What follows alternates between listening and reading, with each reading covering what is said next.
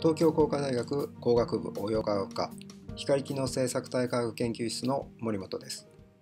私たちの研究室では光エネルギーを使って人の役に立つ化合物を作り出す科学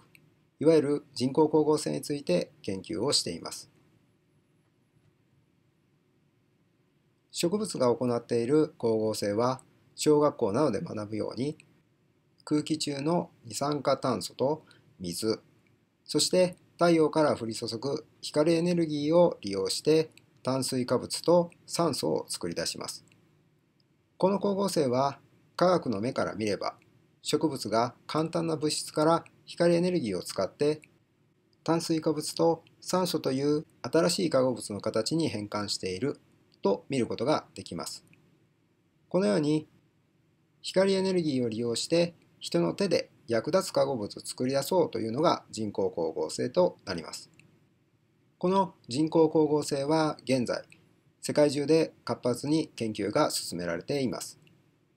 光触媒と呼ばれる光エネルギーで化学反応を進行させる物質を開発して二酸化炭素から有用な炭素化合物を作り出したり酸素や水素などの利用価値が高いガスを発生させたりする反応が研究されています。当研究室では